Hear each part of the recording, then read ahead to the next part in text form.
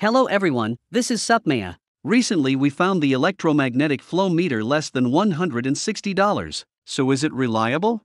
As we all know, practice is the only criterion for testing truth. We bought one to have a test today. Okay, we finally received this electromagnetic flow meter. Let's open the box.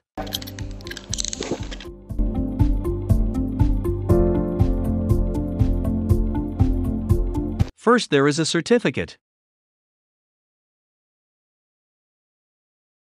The packaging is good, it has a piece of foam cotton. Then we take out the product and see the details.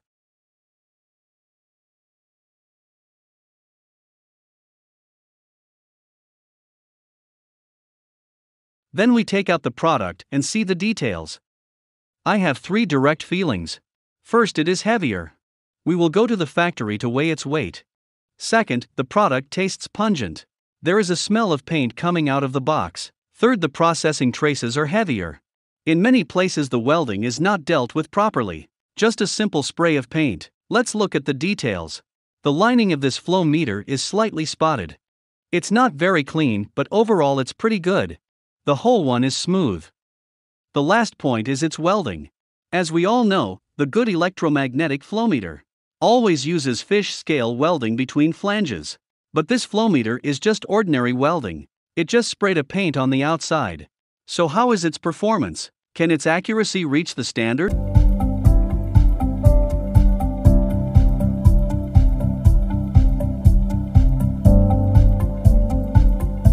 A few moments later.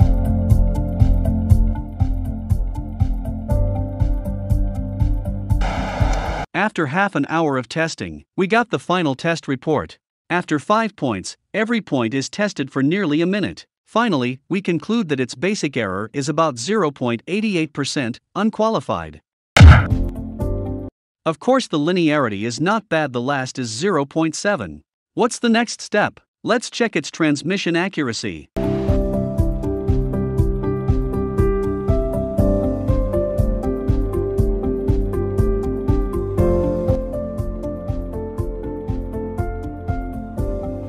Power on, let's take a look at its zero point. In the end, its zero point stayed at 4.48. The gap is big compared to the standard. Let's take a look at the body of this flow meter. See what mystery is inside. Let's dismantle its watch head first.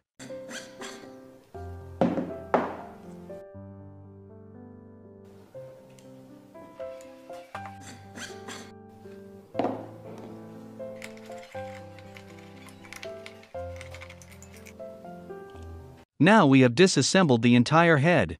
Next we go outside, cut the main body and take a look.